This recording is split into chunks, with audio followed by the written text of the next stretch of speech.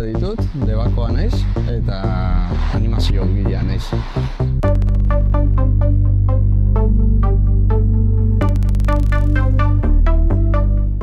Izan, ba, arte derrak e, ikasketak egiten lehioan, bertan espero gabe nik ezakian animazioko ikasgaia zeuala, begonia bikariokin, eta hori izan da niretzako begoan mundu hontan pasau zaiten, profesioan pasau zaiten onena, begonia bikario ezagutzia.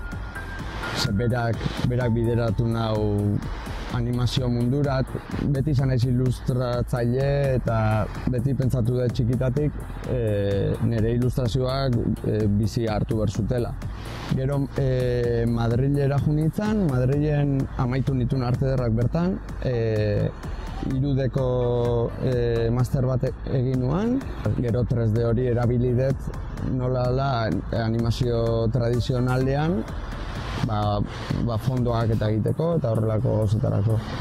Eta gero, e, hori amaitu eta hurrengo urtean inoan beste master bat e, zine postproduzioa. Ja sartu nintzen ba, After Effects eta horrelako programak eta ikasten, nire profesioa ja borobiltzen hasi nintzen, nire bidea ja e, erabakitzen nundik nahi nuan jun. Orduan bat ja hasi nintzen ja bideoklipak egiten, bueno, eskatu nintzizkia ben bideoklipak egiteko eta freelance moduan sartu nintzen ja.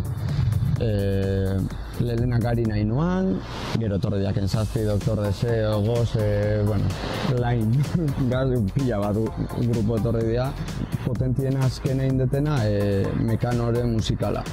E, hoy no me puedo levantar musikalerako inuan e, atzeko proiektzioak, eta hor ja izan da, ba, hor bai jende importantea ezagutu detela, eta haiek bultzatu naute ere bai, ba, aitor zure, zure lan bat inberdezu ja zinerako. Eta, eta hain pixka bat utzi indet mundu hori. Nahi nuan ja nire proiektuak egin, animazioa neketsua da eta frustrazio asko askotan. E, hasiera baten ez, ez dira ertetzen zuen nahi bezala mugimenduak eta pazientzia asko berdezu, ez dekantatzen bate, bate edo bestia. A ber, nahi anim, igual animazioakin e, lortzen detena da fikzioakin ezin detena lortu, ba azkenean fantasia hori ez. Eta igual nire es, espresatzeko era animazioa da. Baina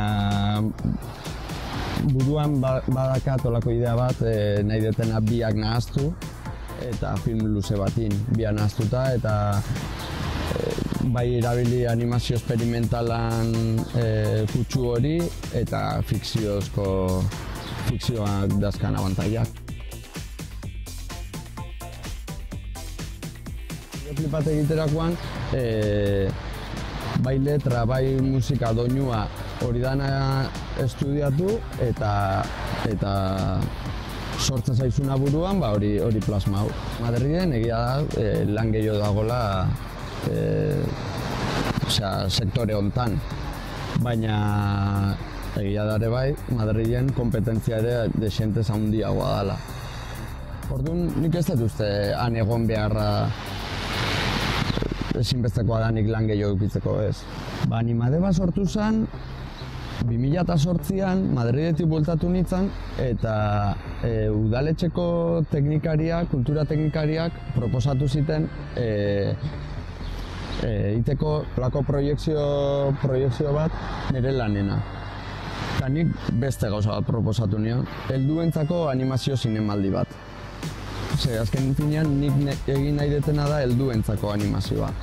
Eta gutxi ikusten da, ez daka, ez daka horren besteko indarra, naiz eta gero eta gehiago, eh?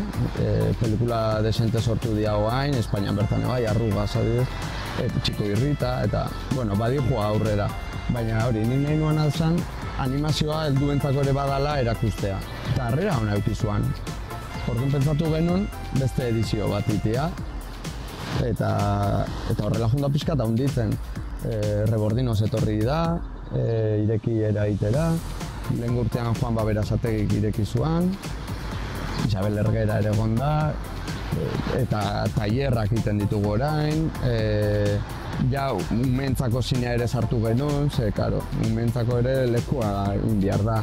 Ba, azkat bi proiektu, baina ezin dianak esan oraindik. Ze, oraindik guztiz lotu gabe daude, Eta, bueno, az, e, proiektu hori potoluena, ba, oain dakaten esportean, amaitzen, bueno, amaituta dago ja, baina, hori prozesuan aur, gauza batzu falta diaiteko.